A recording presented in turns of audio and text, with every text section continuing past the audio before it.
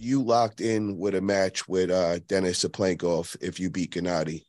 I've heard rumors that uh, in October that uh, you'll be pulling him if you win against Gennady. Is this true?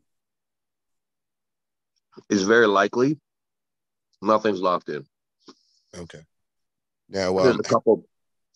Yeah, sorry. There's a couple matches that are potentials that are coming up. I got nothing, nothing locked in except for Gennady at the moment. Okay.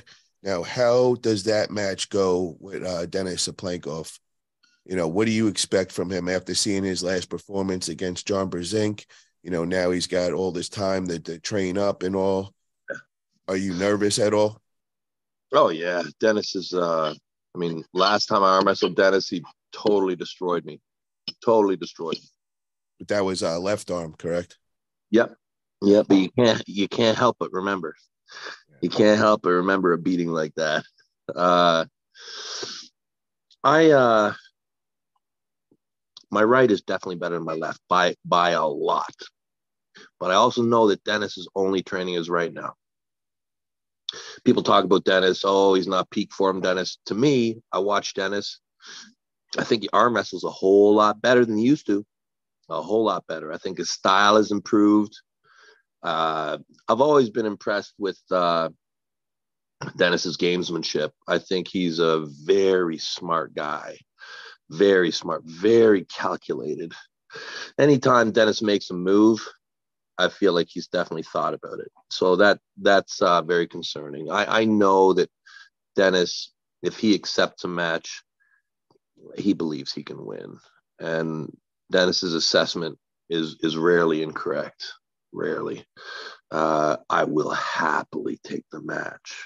Very happily. It's a very meaningful match for me. Um, one that I will try to win, uh, of course. Um, Is this kind of like a payback? You know, you're trying to get your revenge for what he did to you against the left arm? Look, I mean, I don't like to use the word revenge, but Denis Cyplenkov is such an icon in the sport. I mean, it's super meaningful for me to get to arm wrestling. Like, I hold him in such high regard that it's it's a meaningful part of my life to get to face him. It's not like, oh, I get to go arm wrestle Denis. No, it's like there are these tests that you do.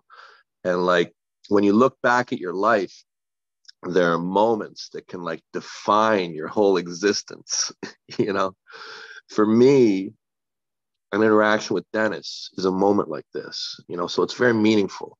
Um, so if it gets to happen, uh, and I do think it will. It's it's a very big deal for me. I think I can beat him. I do. I also think the guy is a titan. So, you know. Would yeah. you train? Uh, would you train any different for him? Arm wrestling has become very simple for me. I uh, I believe that over the course of the 30 years of competitive arm wrestling that I've done and through the injuries and through, you know, the evaluations. And I, I believe that I understand the formula. Like I, I understand how to arm wrestle and it's not, it's no trickery. It's no nothing. There's, there's a checklist. There's a, there's a point of entry and, and from there the, the match will flow. I have no doubt that I can flow with anyone. I, I, think that I can make adjustments and make the correct decisions as well as anybody can. Um, my training will probably not change much. I believe that I have to fight him in one place. If I can defeat him in that area, I will completely destroy him because I do not believe that he can arm wrestle better than I can. So if he's on the losing side of the wall, he it will get worse and worse for him very quickly. There is a small chance, a small chance that uh, I can out arm wrestle him from a losing position as well. There is a good chance of that. So he will he will have to be stronger than me, which I, I believe he likely will be. It will come down to my arm wrestling ability, my health, my resilience yeah, I'm looking forward to the match. It's already it's it's it's definitely hot, but I can't think about it too much. I have a very worthy opponent in like seven weeks. Yeah. So one of uh, the subscribers asked, um, Do you think you could outlast Denis if both you guys go into a King's move? Man, nobody breathes better than me. nobody. I like that answer. And uh, do you consider uh, Denis being uh, the top two or three in the world right now? Yeah, yeah, he's definitely in that list. Yeah, it's a small group. You know, you have you got obviously Levan, you got obviously Ermes, and then you have a, a, a group of people who's up there.